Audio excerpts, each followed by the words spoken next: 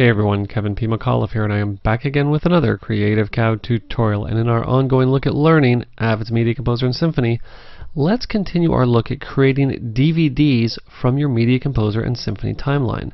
We talked all about exporting in the last lesson, and in this lesson what we're going to do is we're going to start to break down how to encode these files so they're ready for you to start to create, you know, your fantastic end result DVDs in your application of choice. Now we're going to start out a little bit differently than what most people might think we'd start out with. What I'm actually going to do is I'm going to show you how to compress these files inside of Apple's compressor. And I know you're thinking to yourself, Kev, that's bizarre. Why would you do that? Well, remember, a lot of people have made the switch from Final Cut Studio, which is Final Cut version 7, which includes compressor, over to Avid's Media Composer. But what's important to keep in mind is you're switching from a suite of applications to an individual editing application. I know it comes with Squeeze, and we'll get to Squeeze in a later lesson. But you know what? You already have a fantastic compression program with Compressor that you had inside of Final Cut Studio 3. So why not utilize that? Because there's some great little tips and tricks that I can show you to create DVDs quickly and easily. Okay, short introduction here. Let's actually get into Apple's compressor and let's get started. Okay, and as you can see on my desktop here, I have my files for DVD, and in here I have my three different files. Remember we were talking about three different types of DVD files you might want to create. We have the anamorphic, of course, and remember when I exported this, what I also did was I exported the audio with it as well, which you can hear playing in the background. And what I also have is a letterbox version. There we go. And I also have, of course, the pan and scan version. Now what's important to keep in mind here is that really only two of these are going to be 4x3, which is letterbox and pan and scan. The, the anamorphic one is really going to be designed for 16 by 9 television. So what we're going to need to do in compressor is we're going to need to set up two different presets, one for 16 by 9, one for 4x3, and then what we're going to do is we're going to create droplets for you to quickly drag and drop this footage onto to create your DVD ready files quick and easy. Okay, what I'm going to do here is I'm just going to close up my folder. I'm going to come right down to my toolbar here at the bottom. What I'm going to do is I'm going to come right over here to compressor. Now I'm using compressor 4, but the technique I'm going to show you works exactly the same in compressor 3 as well. Now you'll see that right off the bat, once I launch compressor, I could actually get in right away and set up a template to create DVDs, but I'm not going to do that. What I'm actually going to do is say, don't bother to show me this again, and I'm simply going to say cancel. What I'm going to do now is instead of coming in and choosing one of the presets that I could very well do right from here, you'll see that if I actually come right back up to the top, what I can do is come down to disk burning.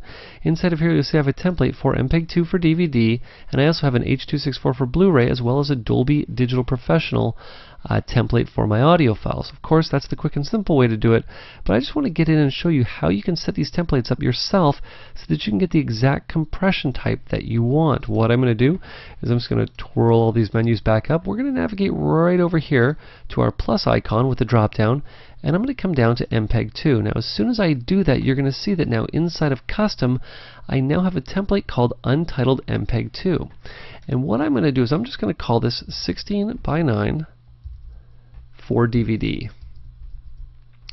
And you'll see the file format right here off the top is MPEG-2 and the extension is M2V which is exactly what we want. The stream usage is of course SD DVD. Now the very first tab we get to is video format. So let's set up our anamorphic file first. The first thing I'm going to do is I'm going to set my video format to be NTSC because I live in North America. Next is going to be the frame rate. Now this is where uh, what you choose here is really going to determine the field dominance because you'll remember I exported these files as 2398. If I come up here and I select 2398, you'll see the field dominance is set to progressive. Now I'm just going to leave that for right now. You'll see where I'm going to come back to this in just a second. The aspect ratio, we know for anamorphic that the aspect ratio is 16 by 9. Now you remember I said before that the frame rate is going to determine the field dominance. Now I have 2398 up here selected as the frame rate. You'll see that if I come down to field dominance and I turn it on, nothing actually turns on because I can't change the field dominance for a 2398 frame rate. But if I switch this to 2997, you'll see that progressive can now be changed to top or bottom.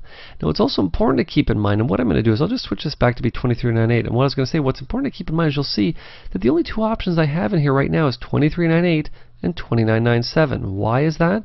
Well, because I'm using NTSC as my video file format. If I switch that to PAL, you'll see the frame rate switches to 25 frames per second. So I'm just going to switch that back to NTSC. Now what's also important to keep in mind is that I have a bunch of other frame rates here grayed out. Why? Because I'm only dealing with standard definition DVD. So let me just switch this back to 2398. Now, the last option in here is a big one.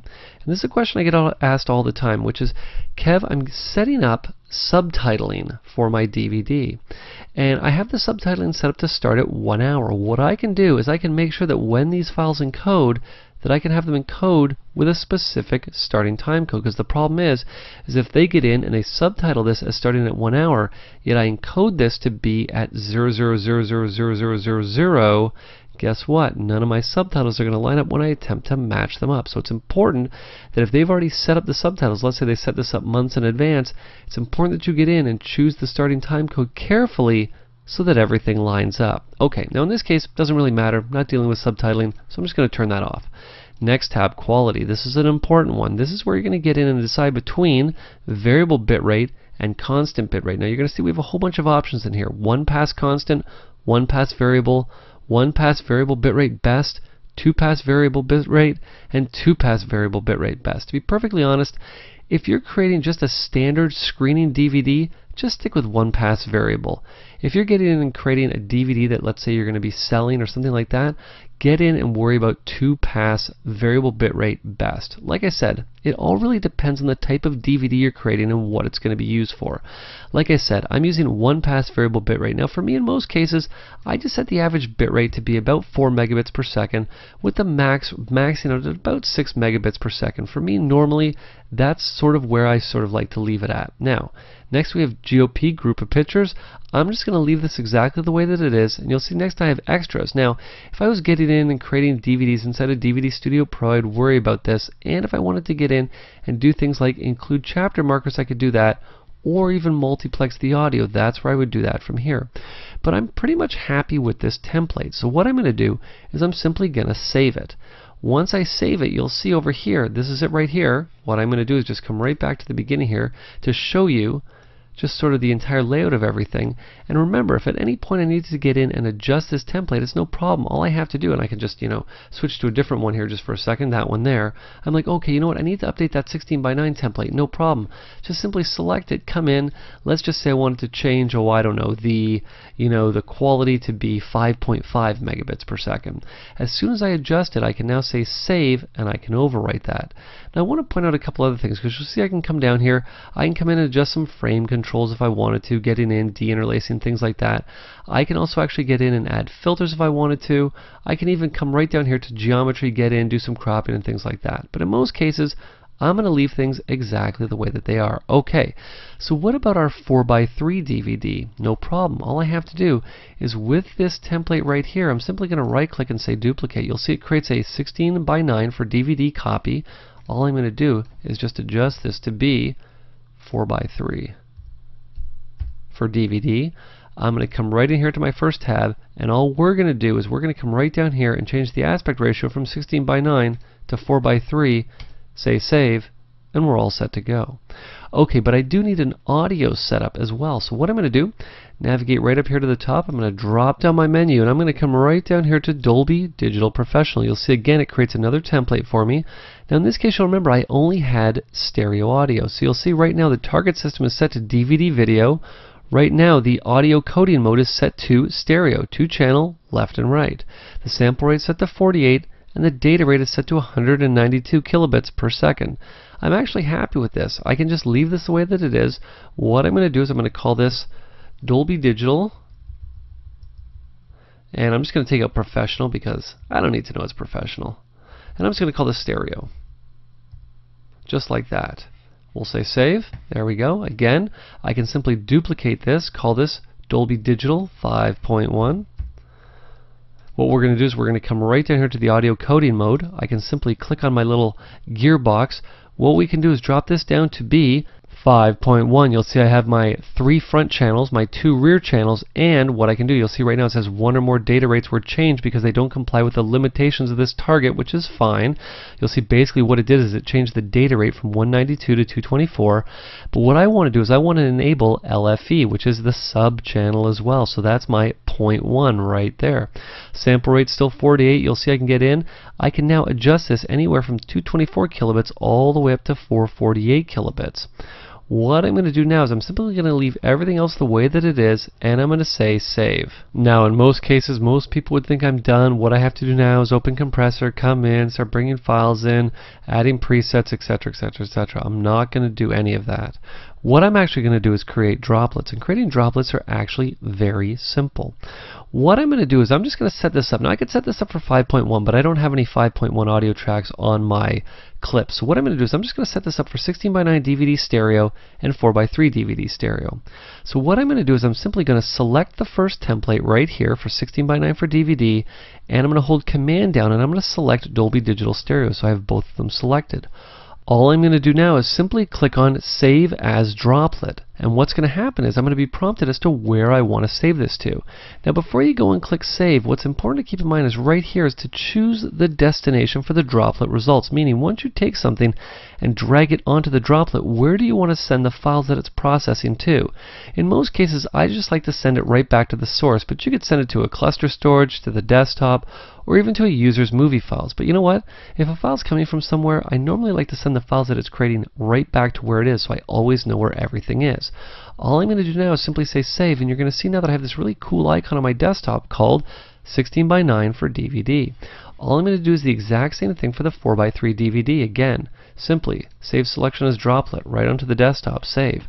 So what I now have is I now have these two droplets on my desktop. All I'm going to do now is simply quit out a compressor and let's come into my files for DVD and what I'm going to do is I'm going to take the anamorphic file and I'm going to drag it right here on top of 16 by 9 for DVD. Now as soon as I do, you're going to see that I now have the droplet appear up here that's going to say, okay, well here's what I'm going to create with this droplet. I'm going to use this video template and this audio template here to create the two files that you want. So all I'm going to do is simply say submit. I'm going to say go. And what you're going to see is in a matter of seconds, those files that you needed to have encoded are going to appear right here in your files for DVD folder. You'll see there's the video file dvd.m2v and what's going to happen about a second later here you'll see it actually encoding. You can see the size of it getting bigger. You'll see a couple seconds later we now have the .ac3 file in the same folder. So all I have to do now is simply do the exact same thing with Letterbox. I can take it, drag it right over here onto 4x3 for DVD. Now you're going to see the difference this time is that when I dragged that file over and I dropped it on the 4x3 for DVD, I didn't get the same window that I got before. Now why is that? Well, what I'm going to do is I'm just going to take, now that Letterbox is done, I'm just going to take Pan and Scan, do the exact same thing onto 4x3 for DVD. I'll just drag it and drop it right there. Again, the window's not going to appear. Now why is that? What I'm going to do is I'm going to take Anamorphic, drag it right back over here into 16 by 9 for DVD. The reason that it didn't appear for 4 by 3 for DVD is because I can choose not to show the window on startup. Very, very handy to have. So depending on how you want to work, if you don't want to see this window ever, what I'm actually going to do is just quit out of that droplet because I don't need to see it anymore. You can actually choose it so that that window's not going to pop up every time. Basically what you can do is take multiple files, simply drag them and drop them onto the droplets that you want, go to lunch, go home at night, come back in the morning, and guess what's going to happen? Everything is going to be ready for you on your desktop. You'll see there's my file encoded for DVD ready to go. Now, of course, in this case, what's important to keep in mind is that it's no longer a QuickTime file. Now, in my case, it was a QuickTime reference file. But because it's no longer a quote-unquote QuickTime file, you're not going to get the audio playback at the same time. You'll see that we have the audio as a completely separate file. You'll see here's the 4x3 version as well. You'll see 4 by 3 16 by 9 very cool. Again, pan and scan is going to be the exact same thing. There we go. Now at any point if I want to know more about this file, remember that fantastic free utility. All I need to do is simply right click. I can come down and say open with and I can come over here and say media info Mac and you'll see now I can see that this file here is 720 by 480 23976 and it's ready to go to be thrown into a DVD and create some cool menus to send it out to a client. So if you have any questions, you have any comments, you have any tutorial requests, you can send them to kevinpmcauliffe at gmail.com. This has been Kevin P. McAuliffe. Thanks a lot for watching.